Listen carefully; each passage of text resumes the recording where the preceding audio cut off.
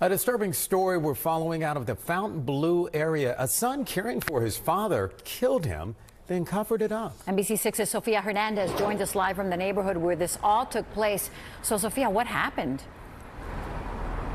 Yeah, Jackie, I first want to say that arrest records share some pretty chilling and graphic details that we do want to warn our viewers about. And we do know that a son uh, had been caring for his elderly father that was 81 years old for two years in one of the homes behind me.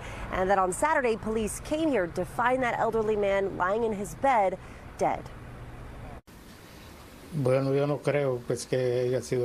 It's a fate that's surprising for neighbors of this complex in the Fontainebleau area. I was friendly with uh, with Paul. He was a he, kept, he kept to himself most of the time, but he was nice. He was. Now knowing that this man, 53-year-old David Buer, is accused of killing his father. Arrest records say the death of the 81-year-old was strangulation and violence. I was wondering myself if that's what happened. Arrest records say that Buer let Miami-Dade police into the home Saturday. The homicide unit found that the elderly man had numerous bruises and cuts across his body. David telling police that his father had a bad fall three days ago and that the marks on his body were from him putting his dad into bed. However, investigators say that autopsy reports show his injuries were not consistent with a fall. He's been taking care of him for for a long time, yeah. which was very nice of him.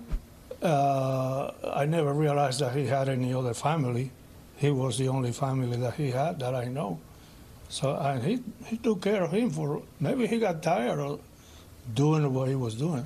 The arrest report furthers that police found blood spatters on window blinds, blood smears on the bed, and several paper towels throughout the home covered in blood. You were arrested for one count of first degree murder the 53 year old appearing before a judge today. He's currently facing charges of elderly abuse and murder of the first degree.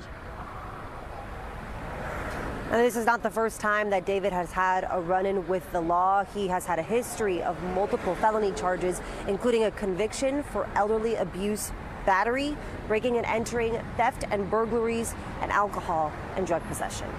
We're live in Fontainebleau, Sophia Hernandez, NBC6 News.